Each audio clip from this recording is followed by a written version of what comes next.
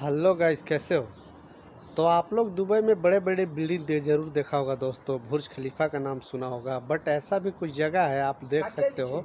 गाँव का same system मतलब गाँव में कैसे रोड रहते हैं तो पानी जम जाता है फिर या कच्ची सड़कें। तो कुछ इस प्रकार का ये पुराना दुबई है दोस्त। मतलब पहले ऐसा ही बिल्ला में अरबी लोग रहते थे। यहाँ पे मगर अभी क्या हो गया, उन लोगों के पास कुछ पैसे हो गए तो फिर वो लोग दूसरी जगह जाकर अपने मकान नया बनवा लिए। और फिर ये सब जो छोटे मोटे जो मकान है वो वर्कर को रहने के लिए दे दिए। तो आप ये जो देख रहे हो, ये आजमान का एरिया है दोस्तों, आप सामने देख रहे हो, बड़े बिल्डिंग भी है। बट यहाँ पे रोड पर देखो किस तरह से पानी मतलब ये रोड भी नहीं बना हुआ है, आप समझ सकते हो। आप लोग चमकता हुआ बिल्डिंग ज़रूर देखा होगा, मगर ये सिस्टम नहीं देखा होगा। एक कमरा से भी दिखा देता हूँ, इस एरिया का नज़ारा आप देख सकते हो। जहाँ पे हम लोग, ये देखिए,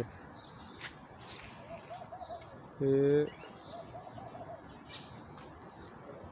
ये पाइप फटने के वजह से पूरा रोड पर पानी आ गया। ये कच्चा रोड है। वो जो आप आगे सामने देख रहे हो दोस्तों, वो मेन रोड है बट वहाँ से जो निकला है रोड, वो अभी तक अभी बना नहीं है। मतलब आप समझ सकते हो कि कोई मतलब बाहर से ही आपको दुबई बहुत अच्छा नज़र आएगा मतलब बाहर बाहर एरिया में। बट अंदर अभी भी यहाँ पे ऐसा कुछ है।